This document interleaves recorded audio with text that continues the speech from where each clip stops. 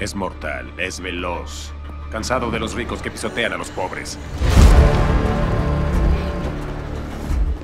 No me crea grosero, pero sus servicios ya no serán necesarios.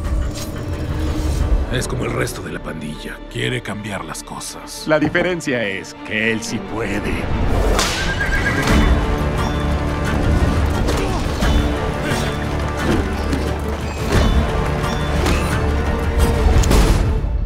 Entonces, ¿cuándo empezamos? ¿Qué mejor momento que ahora? ¿Qué tal si recuperamos Londres?